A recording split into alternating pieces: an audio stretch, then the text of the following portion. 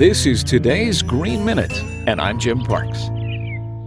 Recycling old cell phones is always a good thing to do. But surprisingly, cell phones have a direct tie to the welfare of the world's dwindling population of gorillas.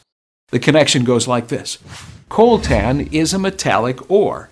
When it's refined into a powder, it can store energy and regulate voltage in cell phones. Coltan is mined in the Congo, the home of lowland gorillas, so forests there are quickly being cleared. And you can imagine what clearing forests does to the environment of these already endangered animals. When you recycle a cell phone, you recycle its coltan. So the demand for coltan goes down, which in turn slows the clearing. A cell phone recycling organization called EcoCell learned about the cell phone gorilla connection and called on the Louisville Zoo to help with recycling efforts.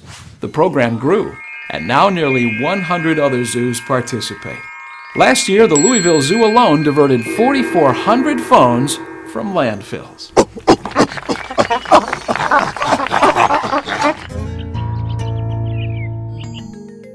We made this video, and we can make yours. MinuteNavigator.com